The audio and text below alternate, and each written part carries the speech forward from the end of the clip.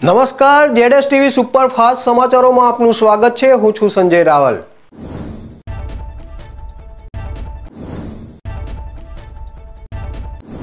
નવસારી જિલ્લાના ગણદેવી તાલુકાના અમલસર ખાતે એક કાર્યક્રમમાં ઉપસ્થિત રહેલા ભાજપ પ્રદેશ પ્રમુખ સી આર પાટીલે જાહેરમાં બે ધારાસભ્ય વચ્ચેનો વિવાદને સ્વીકાર કર્યો હતો. માગરોળમાં ફરી વહેલી સવારથી જ વરસાદની ધમાકેદાર એન્ટ્રી, બે કલાકમાં સવા ઇંચ વરસાદ પડ્યો. સાબરકાંઠા જિલ્લાના પ્રાંતિજ ખાતે આવેલ ગુજરાતી પ્રાથમિક શાળા નંબર બે સ્વચ્છ વિદ્યાલય જિલ્લા કક્ષાએ પુરસ્કાર એવોર્ડ પ્રાપ્ત કર્યો.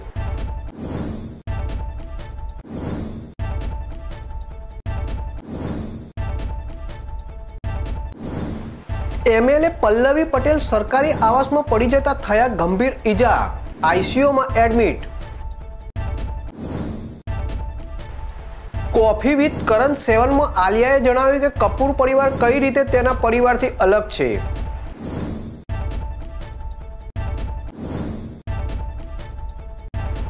સચિન પાયલોટને નિક્કમમાં કહેવા પર બોલ્યા સીએમ અશોક ગેહલોત. બેરોજગારીથી કંટાળીને પતિ પત્નીએ નવ વર્ષની પુત્રી સાથે આત્મહત્યા કરી લીધી.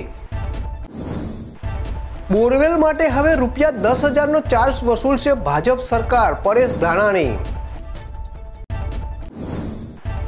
ગુજરાતના પૂર્વ ધારાસભ્યના પુત્રની દાદાગીરી, ગામવાસીઓએ ચખાડ્યો મેથી પાક.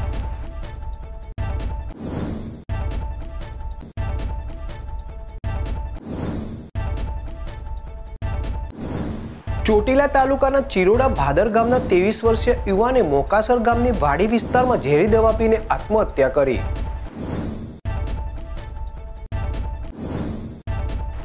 નસવાડી તાલુકામાં સિઝનનો વરસાદ ત્રણ ઇંચ પહોંચ્યો નથી. ખેડૂતો વાવેતર કરી ચિંતિત બન્યા છે. પૂજા કરી મેઘરાજાને રીઝવવાનો પ્રયાસ. છેલ્લા કેટલાય દિવસોથી વાયબ્રન્ટ બિઝનેસ પાર્ક વાપીથી ત્યાંના લોકો દ્વારા સાપના બચ્ચા ફરતા હોવાની જાણકારી રેસ્ક્યુ ઇમરજન્સી ટીમને ભીલાડને મળતી. ગુજરાતમાં વીજળી સસ્તી કરવા આમ આદમી પાર્ટીનો આમોદ ચાર રસ્તાથી જનતા ચોક સુધી હાથમાં પ્લે કાર્ડ લઈને પાર્ટીના કાર્યકરોએ રેલી કાઢી.